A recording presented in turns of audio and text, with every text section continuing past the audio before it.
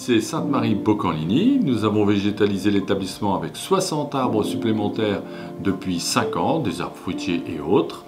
Et nous avons également créé deux jolis potagers, à environ 1000 m2, les légumes que nous récoltons pour le personnel et les enseignants. Nous étudions aussi la possibilité d'augmenter le nombre de repas véganes, une à deux fois par semaine et peut-être même tous les jours proposer quelque chose en repas vegan pour les élèves et les adultes et également diminuer fortement la quantité de déchets alimentaires. Nous sommes en bonne voie et nous espérons bien que cela va porter ses fruits.